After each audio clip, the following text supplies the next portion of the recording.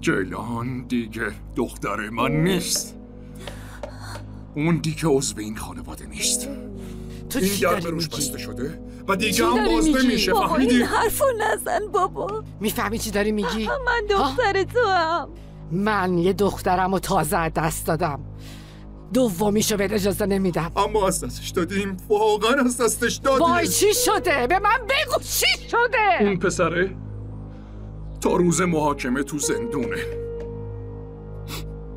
همه یه دلیلا. اونو قاتل نشون میده.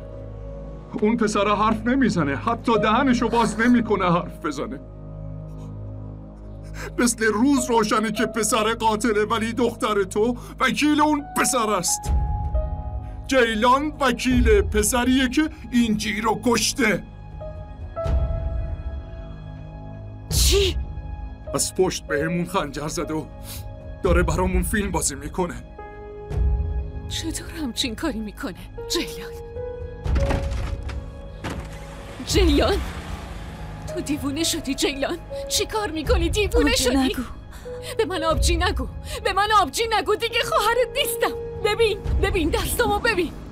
من همین امروز سر خاک رفتم. خاکشو با دستام لمس کردم. این چه خیانتیه؟ در قبال چی؟ به خاطر کی؟ برای چی؟ آبجی چیزایی هست که نمی‌دونید. مامان مامان باید با هم حرف بزنیم. گوش کنید. هیچ کدومتون نمیگید چرا. هیچ کدومتون مامان. راست میگه. جواب بده.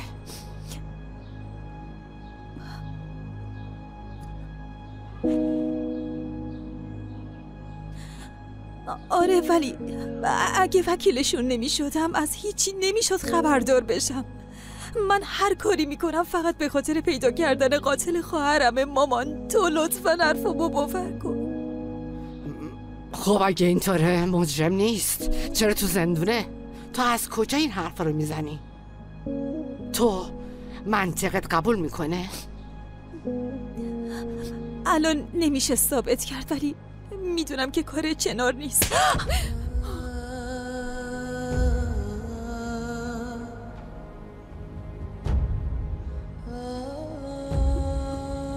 درون بیا